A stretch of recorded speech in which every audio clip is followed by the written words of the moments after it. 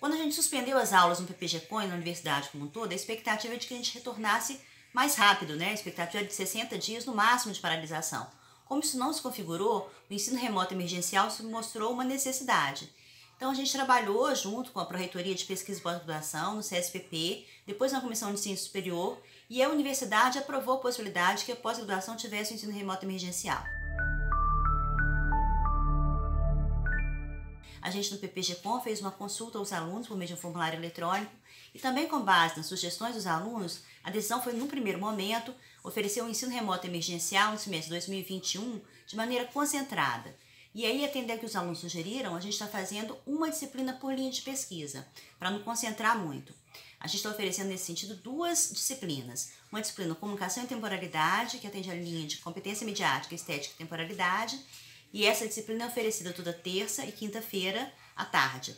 Já no caso da linha de mídias e processos sociais, a disciplina oferecida é mídia, linguagens e sujeitos. Essa disciplina é oferecida segunda e quarta-feira. Qual que é a proposta? Que a gente combine nessas disciplinas atividades síncronas, ou seja, assistir aula com vídeo, e é combinado também com atividades assíncronas, né? leituras, outros tipos de debates. Além disso, tem uma disciplina que é uma disciplina meio que coringa, que chama Temas em Comunicação e Sociedade. Essa disciplina tem como objetivo dar conta das atividades eh, de orientação, reuniões de pesquisa, basicamente atividades realizadas nos grupos de pesquisa, que resultam em artigos, eventos que também vão ser acreditadas.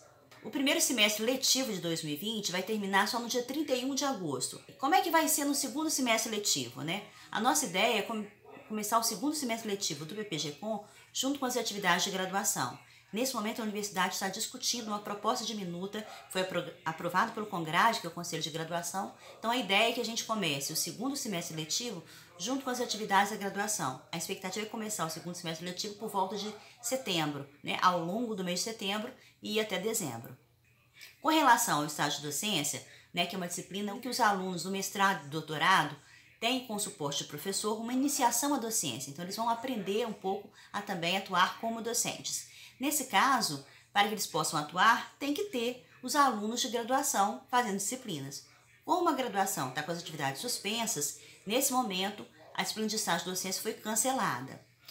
Mas se ela é obrigatória para os alunos que são bolsistas, a gente está também com essa obrigatoriedade suspensa. No segundo semestre, quando voltarem as aulas de graduação, aí sim ela pode ser oferecida. A ideia da universidade é que o ano de 2020, pelo menos até o momento, não tem atividades presenciais né? São atividades remotas. Nesse sentido, a gente teria um ensino eh, de estágio docência também com auxílio dos professores nesse ensino remoto emergencial. O que para a gente pode ser algo muito positivo. Por exemplo, desenvolver vídeos, trabalhar com materiais que também são formas de comunicação, outras linguagens, né? A gente retornou agora com as atividades de aula, mas todas as nossas outras atividades de pesquisa, reuniões, eventos, elas continuaram sendo realizadas, né? Esse período de pandemia, aliás, foi bem produtivo, por exemplo, no que diz respeito à produção técnica, né?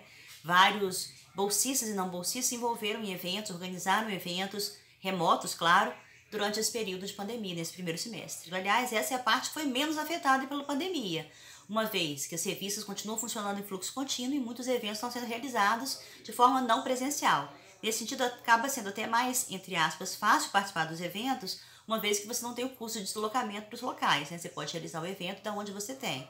Então a gente estimula fortemente aos nossos alunos, né, bolsistas e não bolsistas, a submeterem trabalhos para os congressos que estão com chamadas em aberto, que são realizar, serão realizados em 2020, quase todos de forma não presencial. Na verdade, é, as atividades que estão prorrogadas nesse momento são as atividades de defesa. Elas são prorrogadas inicialmente por 60 dias, né?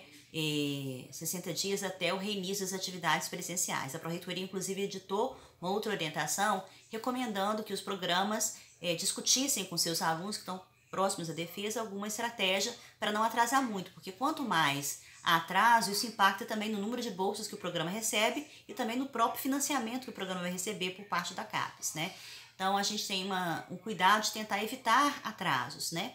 No caso dos alunos é, do PPG-Com, a gente está fazendo um acompanhamento cotidiano e no caso dos alunos do doutorado, acho que o impacto é menor, porque eles têm quatro anos para realizar o seu curso. Então a gente não acredita que esse período agora vai representar um problema, né? E no caso do mestrado, esse impacto é um pouco maior, mas mesmo assim a gente vai tentar se organizar de maneira que isso não prejudique os discentes, né? Agora, é, a perspectiva de eh, prorrogação da bolsa ela é bastante residual. Por quê? Porque mesmo que o programa ofereça a bolsa por um período maior, se a CAPES assim autorizar, porque hoje a CAPES autoriza por 24 meses apenas, como prazo máximo, né? Esse ano eles ofereceram possibilidade de estender para 26 meses, mas esse fato, se você deixar o aluno com dois meses de bolsa a mais, implicará que essa bolsa não possa entrar para um aluno que ingresse. Então, o aluno ingressante ficaria dois meses sem bolsa. Essa é uma decisão difícil a ser tomada, né? E que ainda não foi objeto de avaliação pela comissão de bolsa. Então, neste momento, o programa tem trabalhado para que os alunos mantenham seus prazos de defesa.